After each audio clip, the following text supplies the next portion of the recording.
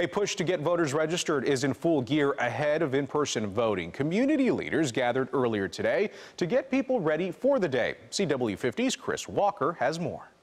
National Voter Registration Day brings the Biden Harris campaign back to the battleground state of Michigan. Tuesday, Senator and Vice Presidential candidate Kamala Harris made a stop in Flint with local business owners before meeting with clergy and political figures for a shop talk in Detroit. An open conversation with black men about their voting power in the general election. It, it was very important to me and to us that we be here on Seven Mile Road all right.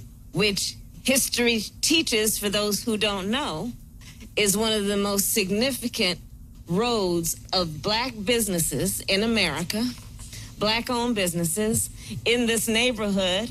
And while Senator Harris pushed for voters on the city's northwest side, community organizers were in the shadows of the Cass corridor, signing people up to vote who suffer from housing security. Some of them became homeless because of evictions, um, slumlords, things of that nature, losing their only source of income, being single parents. The list goes on. Um, and so the pandemic, of course, that's affecting everybody, but that only multiplies and quantifies the issues that people who are in shelter have already been experiencing. Michigan eligible voters can register through Election Day with a current driver's license, state ID, utility bill, bank statement, pay stub, government check, or any other government document.